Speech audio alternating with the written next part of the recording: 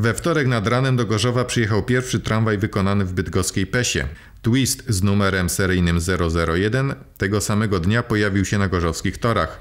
Rozpoczęły się jazdy homologacyjne. Testowano m.in. pracę hamulca przy prędkości 30, 50 i 70 km na godzinę.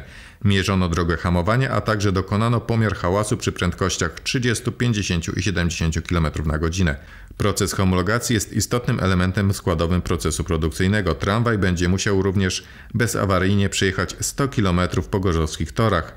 Do uzyskania przez pojazd świadectwa homologacji i dokonania odbioru przez Zakład Komunikacji Miejskiej w Gorzowie Tramwaj jest cały czas własnością firmy PESA.